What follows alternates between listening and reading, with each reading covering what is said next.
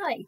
So this week's focus, uh, we're talking about um, trusting God to to help us with our problems and giving our our troubles and our concerns about situations to God.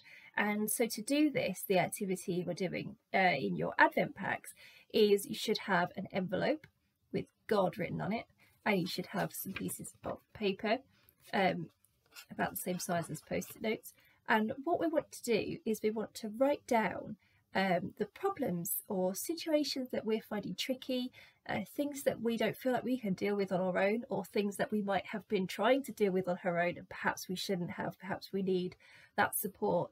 And to write those down on these pieces of paper, we're going to put them in your envelope marked God as a way of giving them to God, something physical that you can do as you put those in, fold them up, put them in that envelope that says God. You are giving it away, giving it to God.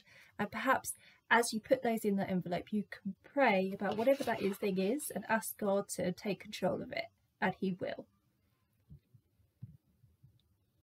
So uh, I'm going to show you what some of the things you might write down on. It doesn't have that matter how big or small it is.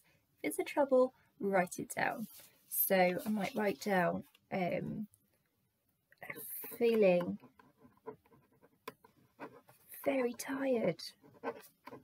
There might be all sorts of reasons you're feeling very tired. It might be that you're uh, you have very small children who like to get up at four o'clock in the morning, or it might be that work is really hard at the moment. Whatever it is, it could be a reason that you're feeling very tired and you need God's help with it.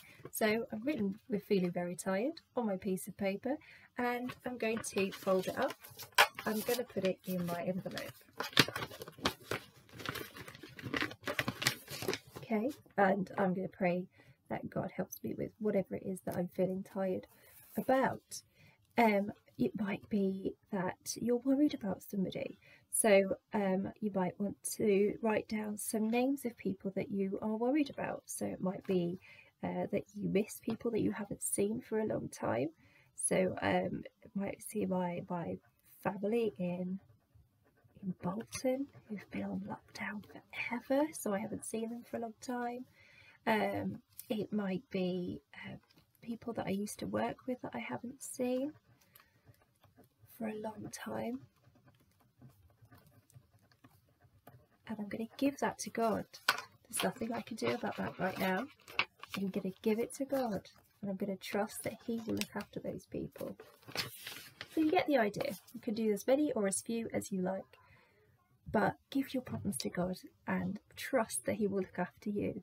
The hope we have in the Christmas story is that God wants what's best for us and is doing everything he can to make sure that we are saved and can have a relationship with him.